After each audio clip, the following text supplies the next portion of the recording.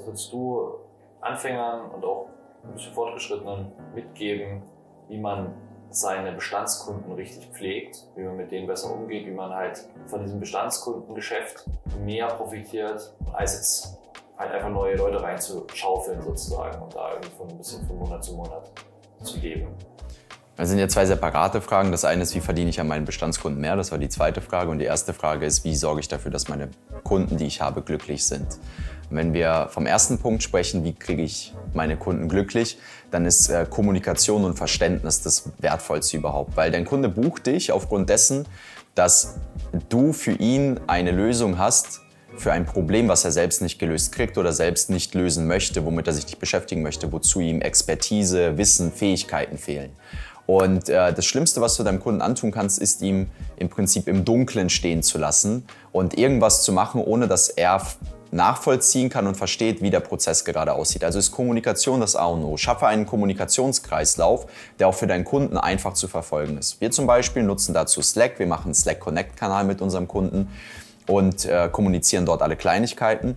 Wir nutzen für Briefings ähm, Google Docs, wo wir ausführlich alles Wort für Wort runterschreiben, was zu tun ist, was gerade ansteht, nehmen das dann auch noch mit Loom komplett einmal auf, um alles zu erklären und nochmal genauer zu erläutern, senden das dann alles in, in Slack einmal rüber, nutzen Google Drive natürlich zum Sammeln von Informationen, dass wir den Kunden nicht ständig was fragen müssen und dass er uns auch nicht ständig was fragen muss, um halt Sachen hochzuladen. Und dann machen wir einen Jour fix.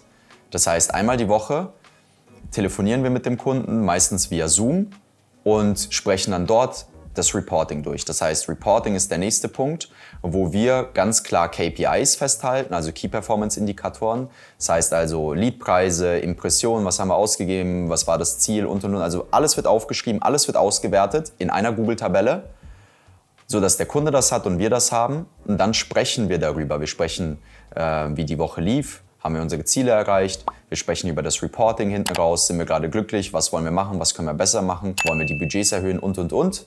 Sprechen das alles durch miteinander, sind immer auf einer Seite, fassen das dann nochmal zusammen, posten das in Slack rein, inklusive der neuen Aufgaben, die zu tun sind und arbeiten uns so im Prinzip von Woche zu Woche mit dem Kunden zum Ziel hin.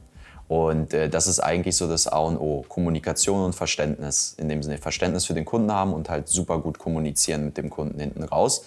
Und das nächste ist dann dafür zu sorgen, dass du mehr für den Kunden lieferst, als er erwartet. Und mehr für den Kunden lieferst, als er von anderen gewohnt ist. Damit er einfach hinten raus glücklich ist und sich denkt, wow, Wahnsinn, das ist, das ist richtig cool, damit habe ich gar nicht gerechnet. Gleichzeitig, dass du der Sparringspartner für deinen Kunden bist und immer wieder deinem Kunden neue Vorschläge lieferst und neue Ideen mitgibst, wie man etwas besser machen kann, worauf er selbst nicht kommt oder gekommen ist und du auch einfach deine Expertise und dein Interesse, ihn und sein Geschäft voranzubringen, in jeder Sekunde, wo du es tun kannst, unterbringst, um ihn einfach zu unterstützen, damit du für ihn einfach ein, sehr wertvoller äh, Partner bist und bleibst und er dich nicht missen möchte.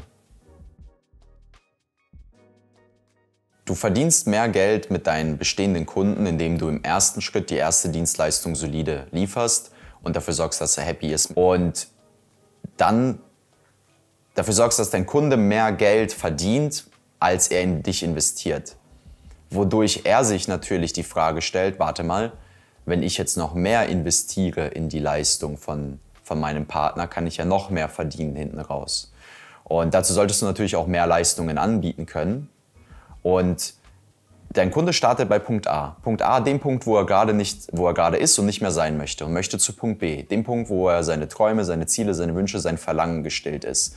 Und jetzt kannst du ja immer alles von kleinem Punkt A, vom großen Punkt A zu einem kleinen Punkt B, von einem kleinen zu einem weiteren kleinen Punkt B, zu einem weiteren kleinen Punkt B, zu einem weiteren kleinen Punkt B bringen, bis du beim großen Punkt B bist.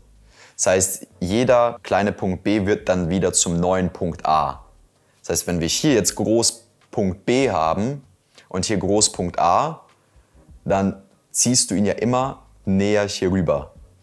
Das heißt, auf dem Weg entstehen ja immer wieder neue Herausforderungen und Themen, die es äh, zu lösen gilt, die du in deinem Geschäft natürlich in- und auswendig kennen solltest, aus denen du nachher Leistungen entwickelst, die du hinten raus deinem Kunden verkaufen kannst, die natürlich für eine Umsatzsteigerung oder Zufriedenheitssteigerung, Bekanntheitssteigerung oder sonstige positive Effekte bei deinem Kunden sorgen, die im Gegenwert zu dem stehen, was er dir bezahlt und im besten Fall sogar mehr. Das heißt, wenn du mit einem Kunden startest und für ihn Facebook-Ads schaltest und das läuft super und du stellst dann fest, okay, ich komme bei Facebook nicht über ein Budget von 3000 Euro am Tag, weil dann die Kampagnenperformance nicht besser wird. Die bleibt gleich oder wird schlechter. Das ist das Limit, was wir auf Facebook gehittet haben. Dann ist die logische Schlussfolgerung, lass uns auf eine neue Plattform gehen. Lass uns jetzt YouTube-Ads schalten. Und dann nimmst du natürlich das gleiche Geld wieder bei YouTube. So, dann kannst du auch noch Google Search mit dazu verkaufen. Du kannst Google Display mit dazu verkaufen. Dann gibt es noch LinkedIn. Dann gibt es noch TikTok. Dann gibt es noch Tabula.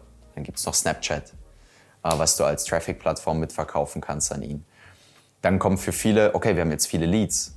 Verwerten wir die auch richtig? Weiß ich nicht. Okay, lass uns mal reinschauen. Haben wir schon E-Mail-Automation? Wir können für dich eine E-Mail-Automation bauen.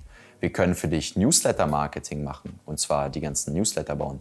Wir können jetzt die Zielgruppe erweitern, so wie ich es in einem einen Video erklärt habe mit Jürgen Höller, der jetzt als Motivationstrainer Nummer 1 in Europa positioniert ist, hinzu. Wir hatten davor ein sehr spitzes Angebot. Lass uns doch jetzt ein breiteres Angebot schaffen, weil es gibt Zielgruppen, in die gehst du rein, an denen verdienst du Geld. Aber diese Zielgruppen haben ja irgendwo mal auf dem Weg angefangen. Das heißt also, wenn dein Angebot jetzt gerade das ist, ich helfe bestehenden Agenturen erfolgreicher zu werden, mussten die ja irgendwann mal eine Agentur gründen. Das heißt, jetzt kannst du ja hingehen und kannst sagen, ich bringe Leuten bei, wie sie eine Agentur starten, weil damit baue ich mir automatisch die Kundschaft schon für die nächsten Jahre auf, für die nächsten Produkte, in denen ich ihnen nachher helfe, ihre bestehende Agentur noch erfolgreicher zu machen. Na? Und dann halt ein neues Angebot mit deinem Kunden zu kreieren, was ein bisschen breiter ist hinten raus. Mal einen neuen Funnel auszuprobieren mit ihm. Und das sind alles Dinge, die du dann halt einfach aktiv sehen musst. Aber das sind genau die Wege, die wir mit unseren Kunden gehen. Wir starten mit einer Plattform, dann nehmen wir die nächste dazu, die nächste, die nächste. Wir fangen mit E-Mail-Automation an, dann, dann E-Mail-Newsletter-Marketing, dann testen wir einen neuen Funnel, dann kreieren wir mit denen mal ein neues, breiteres Angebot hinten raus. Und dann fängt es meistens an, dass wir halt mit Partnern arbeiten und zwar, okay, jetzt bauen wir einen YouTube-Channel für euch auf. Jetzt machen wir Videografie für euch. Na, jetzt machen wir mal einen richtig krassen Imagefilm. Jetzt machen wir mal ein Fotoshooting. Jetzt fangen wir mal an mit Branding. Ja, das sind dann so die Sachen, die du down the line halt als Agentur mit und weiter verkaufen kannst. Jetzt könntest du rumspinnen und kannst sagen, hey, lass uns doch mal ein Angebot entwickeln, in dem wir NFTs mit reinbringen. Ja, wo wir sagen, okay, wir kreieren jetzt dafür, dafür ein Angebot zum Beispiel hier hinten raus. Habt ihr schon ein Affiliate-System? Also habt ihr schon ein System, wo ihr mit Empfehlungen anfangt, nachher Geld zu verdienen? Ist das schon vorhanden bei euch? Und dann kann es natürlich auch in Beratung, in Consulting gehen. Läuft euer Vertrieb gerade gut? Schließen die genug ab? Ist das Vertriebssystem, was ihr nutzt, überhaupt gut oder ist es äh, verbesserungsfähig hinten raus? Ja? Wen, wen, was habt ihr noch gerade? Können wir was an euren Preisen vielleicht machen oder tun? Können wir in eurem Deliverable was tun? Können wir in eurer Customer Happiness irgendwas tun? Da findest du einen Haufen Punkte, wo du dann down the line halt ganz viele Ansätze liefern kannst, wo du zusätzlich mit Geld verdienen kannst. Aber du fängst halt immer hier an und erstmal mit der äh, Customer Happiness.